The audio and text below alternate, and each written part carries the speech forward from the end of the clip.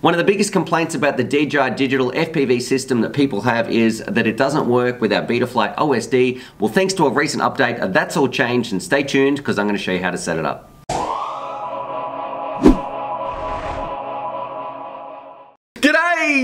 From UAV Futures here, and today, well, a short little guide video. DJI just released the latest update for their FPV air systems, and what it's going to let us do finally is get proper integration with the Betaflight OSD. So if you ever wanted to jump into this system, but you haven't liked that they don't have the proper OSD integration, fear no more, because nowadays we can use our Betaflight OSD that we all absolutely love and integrate it into our FPV system. So what we're going to be doing, this is a really easy to follow along guide. We're going to jump over to the computer. I'm going to be recording the screen of the goggles because we've got to do a little bit on here and we need to also do a little bit on the computer find out just how easy it is and in no time you'll be flying around in gorgeous HD with also some Betaflight integration. So let's do it. Go have some fun over on the computer and show you just how easy it is.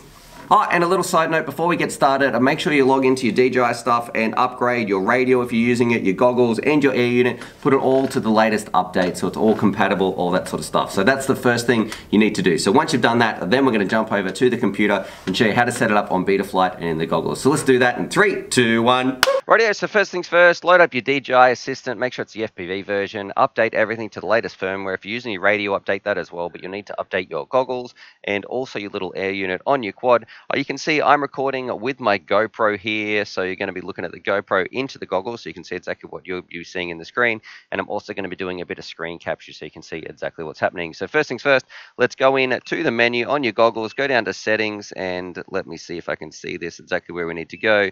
We go to display, go down to where it says custom OSD and now you're going to turn that to on and then that's it on the goggles super simple you can leave that as it is and then what we need to do open up your Betaflight OSD you're going to click connect in the ports tab. Everything should be set up the same as if you're using the normal OSD so make sure your UARTs are set up the same way you would if you're using the normal default DJI OSD and the MSP then we're going to jump over to configuration. And this is where you need to make sure telemetry is turned on. And if you can't find the OSD option in the left here this sometimes might be a little trap for newcomers out here, make sure you click this little slider right here to get your OSD on. Jump over to your OSD and you can see on the screen, if we're looking at the goggles, you can see down in the bottom right hand corner, that's the default version. So we can see, you know, our, our battery voltage and it is very, very basic. But However, now we can turn on a whole, uh, let's, I'll turn some of these off actually. Let's just put the ones we want on. So we can turn on, so you want to use your current draw, your battery usage, your battery voltage, and you can see on the screen now in real time we can actually get some of these icons on the screen. And you can move these around too to a place wherever you want to put them. Let's put this over my let's see if we can get it on my head in the video. So maybe you want to have your battery voltage right there some weird name. If you're one of those people who flies around with a crosshair well of course now you can put that on as well drag it around and put the crosshair wherever you want to do it. There is a whole bunch of different things you can enable. Essentially, maybe you're one of those people who uses the artificial horizon and the sidebars, all that sort of stuff. Now, let's see if we can get a better better shot of this if it's on my hand. Now, you can actually fly around, use that sort of stuff in your OSD. So the OSD you can get is now so much more advanced than the Betaflight OSD is fantastic. And yeah, then you just click save. You are ready to rock and roll. Of course, let's put my craft name on. That should be in here. Here it is craft name. That's probably one I'll be flying around, flying around with the Titan. And yeah, wherever you need to move it as well, just simply drag and drop. And you can see in real time on the goggles, that's exactly where that's going to be going. So I don't know, it is super simple to set up and a fantastic feature to add in with uh, the DJI system. Finally, I'm really happy that they've done this.